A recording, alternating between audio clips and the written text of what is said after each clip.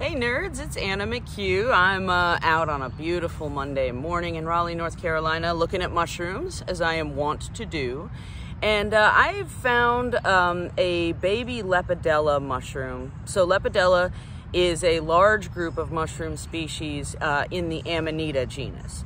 An Amanita genus, in and of itself, is a very large uh, collection of species we have some edible ones, also extremely toxic amanitas. Uh, so Amanita phalloides, the death cap mushroom, and uh, Amanita bisporigera, and others, uh, known as destroying angels, gives you kind of a good idea of how we characterize uh, the, you know, not so good members of the genus. Um, so Lepidella, again, is a uh, group of mushrooms in the Amanita genus that is pretty recognizable. I'm not sure exactly which species this is. Uh, it resembles very closely Amanita daucipes, um, and uh, which doesn't have a common name, at least not to my knowledge. But anyway, uh, daucipes is characterized as having sort of a ham-like aroma. Uh, this, on the other hand, has a very, very strong um, chlorine smell. And so a lot of your Lepidella species have this, you know, uh, delightful sort of peed in pool uh, smell, which is very distinctive. So not all of them have it. Um, and, uh, you know, given what this smells like, I'm pretty confident it's actually not Amanita daucipes, but uh, you know, again, knowing your Lepidellas kind of gives you a wide uh, array of species that you can recognize. And if you're interested in collecting mushrooms to eat, uh, Lepidella is one of those areas you want to avoid. Uh, so uh, identification-wise, Lepidella also is really interesting because Amanitas oftentimes have like a, a cup at the base or a, so a sac or a sock of tissue. Uh, but uh, and that's called a universal veil remnant. So you know you have a lot of different amanitas that have that feature, but um, you know those uh, universal veil remnants take very different forms. And in the case of amanitas in the Lepidella group, uh, you don't have a cup, you have a bulb. And so, you know, these are baby mushrooms. They will get very large, uh, cap and stem, but they will always have this, you know, big fat, hefty bulb at the base. You open it up also and you don't see uh, anything other than, you know, uh, white flesh. This is also uh, a good mushroom to be aware of because puffball mushrooms are a very popular uh, group of edible uh, mushrooms that are also sort of like a, a, lump of fungus that's very white on the inside.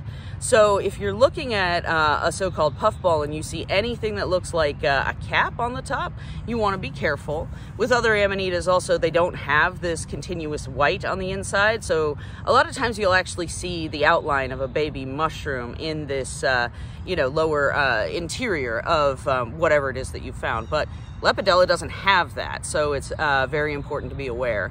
Uh, the cap itself is really teeny right now. It's about the size of uh, maybe a nickel. It has warts on it, and you can also see one of the things that's really distinctive here is you have the bulb, but then you have sort of a collar of cracking around uh, the top here, and that's where uh, the baby mushroom starts to emerge from this bulb. Uh, so, you know, overall, uh, lepidellas are not considered edible. Um, a lot of them in books are described as uh, no one's even tried to eat them before. Uh, I've heard that there are lepidellas that are eaten in other parts of the world, but North America wise, uh, definitely not considered uh, an edible group of species. And, uh, you know, in the case of a lot of them, like this one, smells like chlorine, uh, I wouldn't be interested in eating it anyway. Um, so, you know, it's, it's kind of important to know them. Um, and they're very, very common.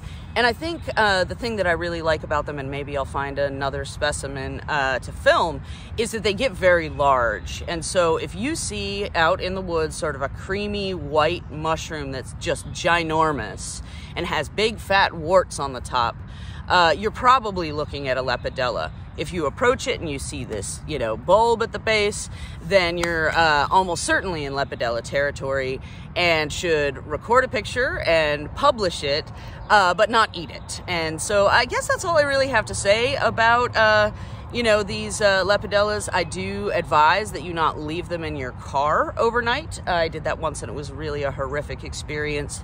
The following day, it really was like my entire car was permeated with uh, like really bad public pool smell, so uh, you want to be aware. On the subject of uh, smells and edibility, I just want to add a quick note. So, a lot of times on different mushroom forums, someone will post a picture and say, Hey, can I get an identification? And whoever's around who happens to know what it is will weigh in. And then the follow up question is, Is it edible? Now, there's nothing wrong with this question about edibility. A lot of people are interested in edible mushrooms. However, I think it's incumbent upon uh, people who are trying to get identifications to smell the mushroom that they are asking about. So, in the case of Lepidella, I have been asked if they're edible when they are in this like really revolting chlorine, uh, you know, chlorine smelling space. Uh, so, you know, I, I, just think it's important that, like, before you ask for mushroom identification, you go through um, more than just its visual appearance. And that's all I'm getting at here. So, you want to smell the mushroom, you want to, uh, in some cases, uh, you know, taste a little bit of it and spit it out. Uh, that's not necessary for the vast majority of mushrooms, but it is a safe practice. Um, of course, you know, taking the mushroom apart can teach you a lot. Obviously, you want to get pictures before you get to that point. Um, but, you know, when you're asking about edibility, uh, just smell it before you ask. Because if it smells like something that would make you barf, the odds are either it would make you barf or something worse. Um, so, yeah, that's Lepidella. That's my uh, little rant about edibility. And I hope you all have a great deal of luck in your own mushroom adventures.